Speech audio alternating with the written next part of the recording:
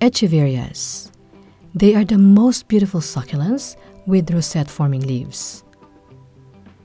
They are stunning when used for arrangements, but also beautiful when planted on its own. There are many varieties of Echeverias, and because they can easily hybridize, hundreds of varieties are available in the market nowadays. Don't be surprised if someday you'll find one in your name.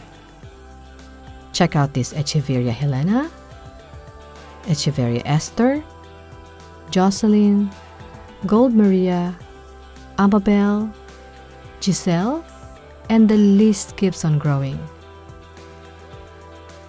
There are expensive rare varieties, and there are a lot of colorful ones too.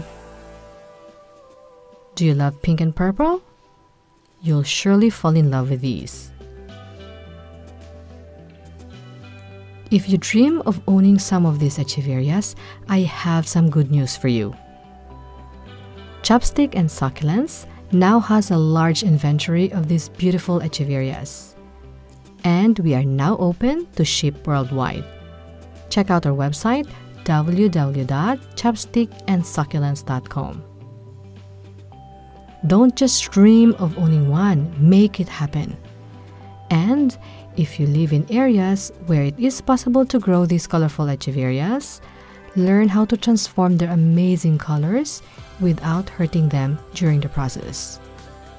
Invest in educating yourself and take your succulent hobby to the next level.